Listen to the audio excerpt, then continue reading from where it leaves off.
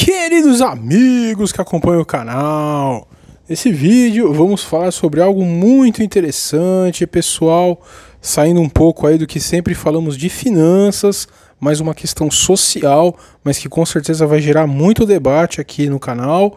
É uma questão aí relacionada a o que seria preciso para mudar a nossa sociedade, pessoal. Se tudo isso que estamos passando tanto o problema econômico quanto o problema de saúde seria então suficiente para mudar ou para bem ou para o mal. Encontramos aí então uma matéria muito interessante que vimos aí, né, em uma rede aí muito famosa, mas vamos nos concentrar no site, né, que tem tudo muito bem documentado. O link está na descrição para quem quiser ver a matéria inteira.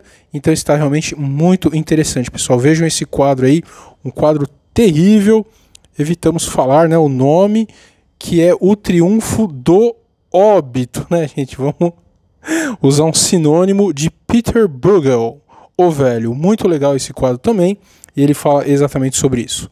Maravilha, pessoal. Antes, vejam aí né, o gráfico da correlação entre ouro, Bitcoin e o S&P. Então, muito interessante. Trouxemos aí para falar que o nosso próximo curso vai ser exatamente focado nas correlações, né?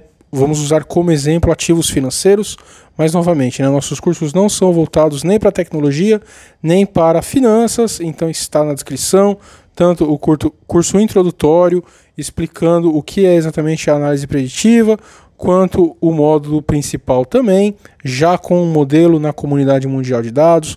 Então está muito legal. Quem quiser um descontinho, basta entrar na nossa comunidade, tanto a comunidade interativa no WhatsApp, basta mandar um e-mail, como na comunidade de leitura do Telegram.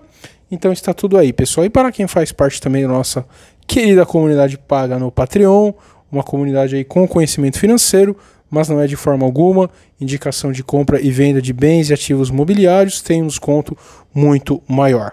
Maravilha, pessoal. Então vamos diretamente aí, né? Sempre trazemos alguma coisa no comecinho do vídeo para dar uma relaxada e olhem aí, né? O investidor da depressão admita. Esse cara foi quem mais te ensinou sobre educação financeira. Então, para quem não conhece, né, o pai aí do é, Chris do da série Todo Mundo Odeia o Chris, que é a história, né, do Chris Brown, um humorista norte-americano aí muito bacana, e o otimista oficial também, o que é mais gostoso de ouvir. Faça um trade e compre um PlayStation 5. Faça um trade e pague seu almoço. Faça um trade e compre um tênis. Ou investimento é longo prazo. Separe uma parte do que você ganha e invista. Planeje seu futuro. Entendeu porque tá cheio de golpista? Gente, é incrível, incrível como realmente né, o nosso canalzinho aí nunca vai ser um canal grande, exatamente porque nós somos chatos, né? Nós combatemos aí esse tipo de pensamento. Ah, não, todo mês eu estou levando um aqui, tá bom, você vai levar todo mês e quando você perder, né? O quanto você vai perder. Então, exatamente o foco do nosso canal começou lá atrás com a questão de tentar influenciar os jovens, né, para guardar dinheiro, para antes de mais nada ter um ofício bacana. Por isso que a gente fez aí tanto trabalho, né? Tivemos tanto trabalho para fazer esse curso também, para as pessoas acordarem para um ofício que traga um retorno antes de mais nada, antes de qualquer investimento, poupar aquilo que ganha e só lá na frente então começar né, a fazer alguma coisa de investimento, não, não, de forma alguma. As pessoas querem né, pegar 100 reais, colocar ali numa mágica e tirar 200 para ir comprar então né, um, um, um jantar aí num japonês. É incrível, pessoal, é incrível. Então isso realmente fazemos questão né, de salientar que o nosso canal é focado sim no trabalho a longo prazo, no estudo a longo prazo, de forma alguma queremos aí que as pessoas façam esse tipo de coisa que, de novo, né, ao longo da vida, apenas tira o dinheiro.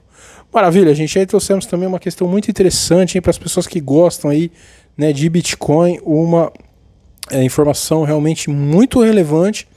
O Bitcoin é realizado, então a volatilidade caiu para o nível mais baixo desde março de 2017. Olhem só, hein? Mas permanece elevado, claro, né, em comparação, por exemplo, com o ouro.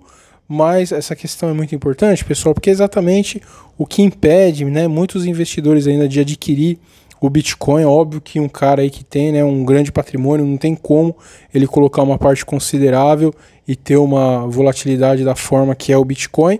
Então, sem dúvida alguma, que voltando aí, né, o, o nível de baixa volatilidade de muitos anos atrás, isso já dá mais um incentivo, principalmente no momento onde os bancos centrais né, estão fazendo tanta porcaria. Lá no começo do nosso canal a gente falou que realmente o Bitcoin tinha né, que fazer exatamente essa correlação que a gente sempre fala, e as pessoas brigam com, conosco, né? Você não sabe o que você está falando, sei o quê, porque nem sabem exatamente o que é correlação. As pessoas confundem correlação com regra de três, é uma coisa medonha, né? Então, como o Bitcoin não tem essa correlação, lá atrás nós falamos que, sem dúvida alguma, o motivo mais forte de se investir né, no, numa criptomoeda seria exatamente o mar de bobagens que os bancos centrais estão fazendo.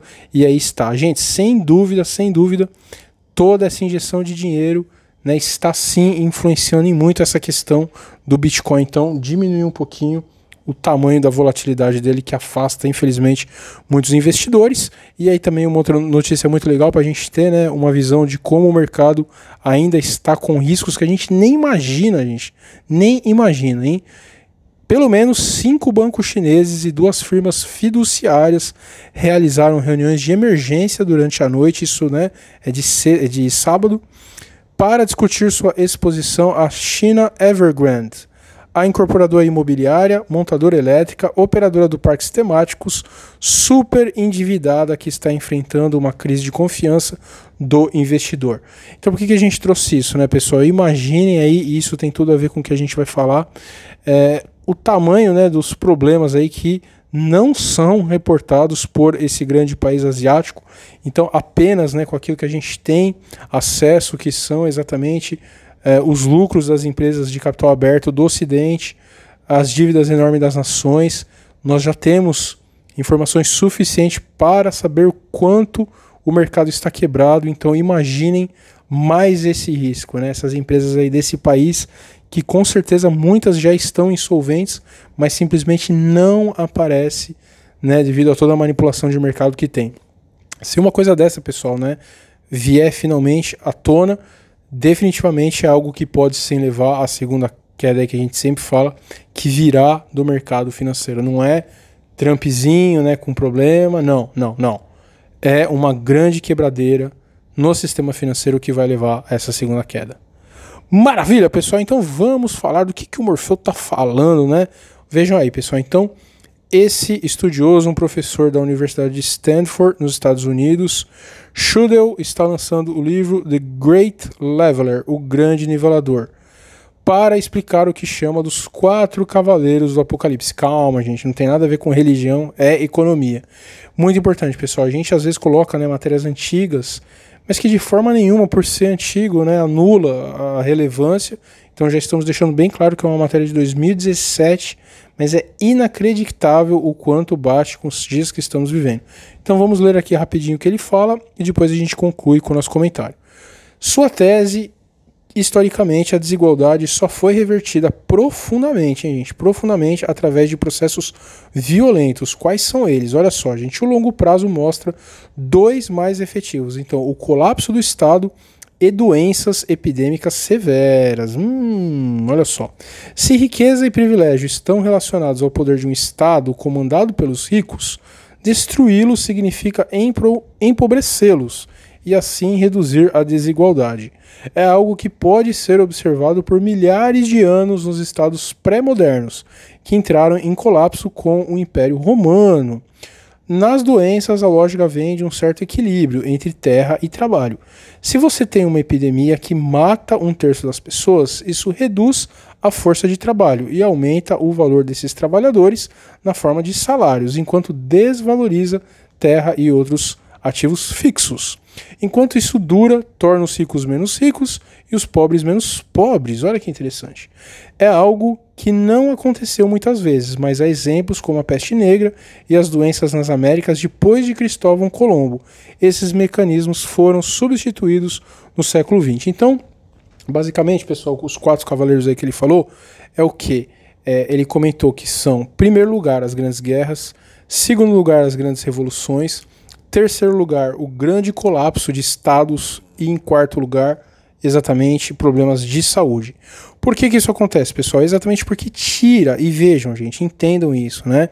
A única forma realmente de você tirar a elite dominante é com problemas, infelizmente com problemas que causam muitos óbitos. E hoje, né, ele foi questionado. Então, essa, isso que a gente está passando pode ser um novo nivelador? Ele falou não, não, não e não para um problema de saúde realmente alterar a sociedade, ele tem que causar muitos óbitos, gente. A guerra faz isso, as revoluções também, é, os colapsos de Estado, idem, e muito mais, então, os problemas de saúde, mas que levam a muitos problemas aí, muitos óbitos. Se não tiver, gente, muitos óbitos envolvidos, não muda, nem para melhor, nem para pior. E vejam que interessante também ele fala sobre a América Latina, a como reduzir a desigualdade de forma significativa por meios não violentos, ou menos, né? Ele falou, depende do que você chama de significativa. Se você procura reduções grandes e dramáticas de desigualdade, a resposta parece ser não. Se procura flutuações, pode achar exemplos em vários países. O próprio pessoal da América Latina, então, entre 2002 e alguns anos atrás era exemplo mais interessante, porque em vários países a desigualdade caiu consideravelmente sem fatores que eu citei. Mas muita calma lá, né, pessoal? Com certeza, sim. Quem vê de fora, né, não conhece bem a história do Brasil, a gente já comentou que fizemos um trabalho no passado sobre isso. É, sem dúvida que não teve, né? Olha que interessante, muitos óbitos, como ele comentou, mas tivemos sim o colapso do Estado, certo? Nos anos 80, o Brasil colapsou. Né? Tivemos ali inflação galopante, a, os cortes do zero, que a nossa economia estava falida. Né? E, claro, a nossa mudança de desigualdade foi muito pequena, perto, por exemplo, do que ocorreu na Europa pós Segunda Guerra. Tá certo, pessoal? Então, vamos ter isso em mente, pessoal, por incrível que pareça, né? Essa é uma notícia positiva, porque tem muita gente que tá pirando aí de loucura, né? Que um monte de coisa nova vai vir. Não, gente, não. Se você não tirar a elite dominante, por óbito, sim, infelizmente, a coisa não muda. Maravilha, pessoal. Então, muita calma, né? Vamos parar de surtar, de fazer coisa doida, porque sim, vamos ainda passar por problemas muito graves financeiros, mas nada perto desses né, cavaleiros aí do Apocalipse que esse estudioso fala que sim vai completamente ao encontro do que nós aqui pelo menos achamos. Maravilha, pessoal, aí para fechar, vejam aí o que falamos no nosso Instagram. Então chegou aqui né, o livro 5 dessa coleção maravilhosa, Histórias de Heródoto. Né, tem a musa aí Terpíscore. Terpíscore, muito boa, né? A musa aí da música. E é exatamente isso, pessoal. Essa coleção é sensacional. Nós realmente estimulamos as pessoas aí a comprar. Óbvio, né, não ganhamos nada, é simplesmente pelo prazer mesmo da leitura. Nós até temos contato né, com a Maria Aparecida de Oliveira, que é exatamente a tradutora. Essas obras aí têm muitos comentários, diz muito sobre a civilização grega, o Heródoto, né, que foi o, dizem, né, foi o primeiro historiador aí da, do Ocidente e ele fez exatamente isso. Ele era grego e saiu viajando o mundo, então passou ali pelo Egito, passou pelos medos, né, que hoje conhecemos como persas, exatamente por, é, por isso que chamava guerras médicas, né? Eles conheciam os persas então por medos. E aí ele fala muitas coisas interessantes de muitas civilizações. E o mais incrível, né, gente? Os únicos que eles consideravam civilizados eram os egípcios. Olha que legal, né? Todos os outros eles chamavam de bárbaros e eles explicam exatamente por quê. Como já falamos aqui, haviam muitos cultos terríveis que exigiam sacrifício, que exigiam né, rituais aí sexuais para não ser, sermos aí é, é, censurados pelo YouTube. Então essa coleção realmente é sensacional. Vejam o nosso Instagram, que a gente dá uma passada ali por todos. Esses livros estão sendo lançados, infelizmente, um por ano, tem 12 ao total, mas a arte, a, a, os argumentos, as inscrições são sensacionais, pessoal. Realmente vale muito a pena. Maravilha, pessoal. Então que bom, né? Na segunda-feira aí o nosso vídeo da manhã foi tão triste. Pelo menos conseguimos passar aqui agora uma mensagem bacana. Vamos com muita calma. No final das contas, tudo se ajeita. E é isso daí. Quem não faz parte das nossas comunidades, mande e-mail, entre no link, curta o nosso vídeo, curta o nosso canal. Um grande abraço!